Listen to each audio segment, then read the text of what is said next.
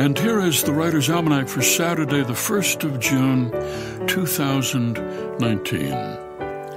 It's the birthday of Marilyn Monroe, born Norma Jean Mortensen in Los Angeles, 1926.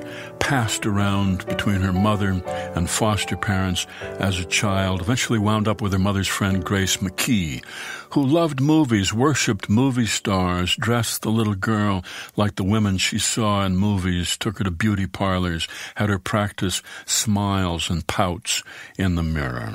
The girl lived for a while in an orphanage and could look out the window and see the water tower of RKO Studios.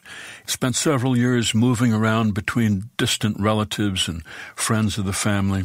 Told other children at school that her parents had died in a car accident. After she went through puberty, men started honking their horns at her and waving. She said the whole world became friendly.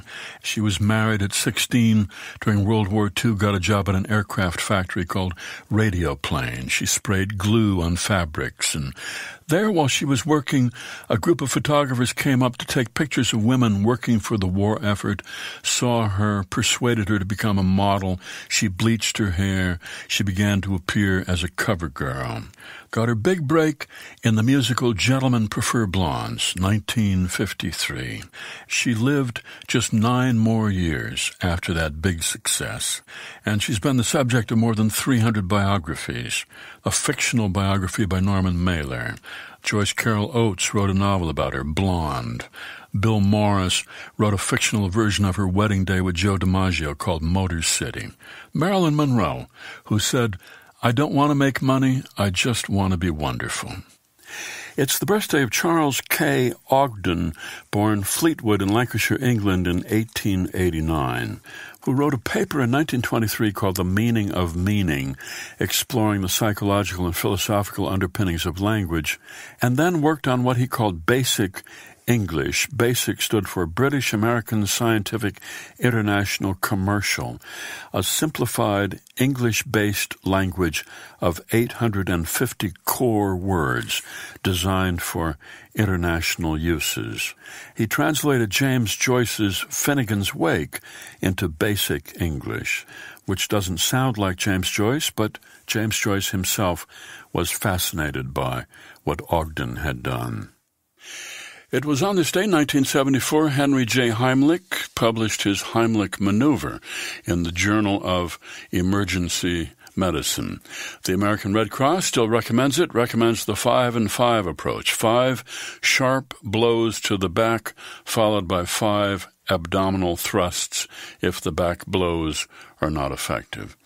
And it's the birthday of the neuroscientist and writer Colleen McCullough, born in Wellington, Australia, 1937, studied neuropsychology in Sydney, got a job as a research associate at Yale. She was pretty happy there for about 10 years, and then she discovered that her male colleagues were making twice as much money as their female counterparts.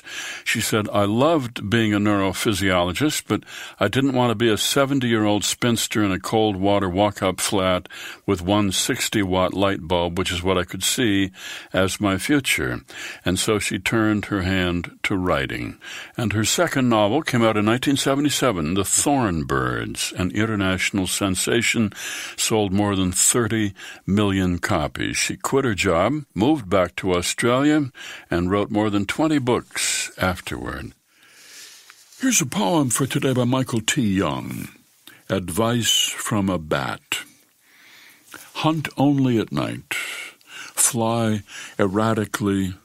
Defy even your own expectations. Feed on beetles, moths, and mosquitoes, whatever is small and annoying. Cultivate the myths about you until every predator fears your legend when hunting be guided by a language only you can hear. The same is true when courting the one you love. Clean fangs and fur nightly. Crawl or climb to confuse the observant. Retreat to a cave no one believes in. Let the day and the world pass while you sleep and sleep upside down, ready to wake and fall into flight. Advice from a Bat, Michael T. Young, from his collection The Infinite Doctrine of Water, published by Terrapin Books and used by permission here on the Writer's Almanac. Be well, do good work, and keep in touch.